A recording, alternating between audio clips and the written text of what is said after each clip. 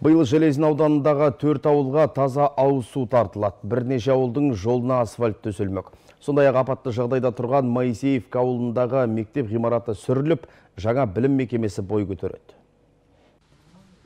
Пахар шаруа қожалығының сүт тауарлы фермасы жұмысын 2018 жылы бастады. Қазір өндірістің жобалық қуаттылығы тәулігіне 7-8 тонна сүт құрайды. Сондай ақ фермада картоп, көкөністер, шалғын шөп және басқа да ауыл шаруашылық дақылдары өсіріледі. Басшылық жаңа жобаларды енгізу арқылы кәсіпорын қызметін кеңейтуді жоспарлап отыр. Кукуруза сколько? Три с половиной.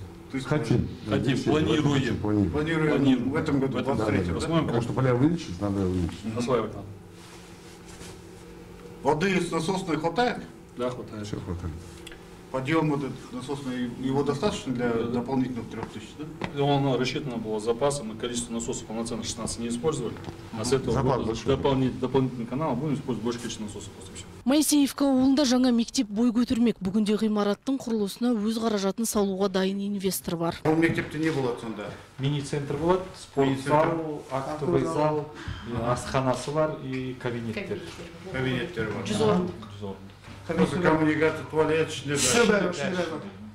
А сыртында немене болады? сыртында Благоустройство? благоустройство сосын ә, футбольное поле с искусственным покрытием и шағын ойын нелері алаңдар А инвестор, который өзі салам деген, біз тек дайын сатып алатын. иә деген ол өз ақшасына салам деген бар біз тек дайын сатып Павлодар облысында Моисеевка мектебін қоса алғанда үш білім мекемесі апатты жағдайда тұр. Біреу жаңағы Қаражар, біреу осы Осы Иә, э. Моисеевка, Павлодарский район Сычевка.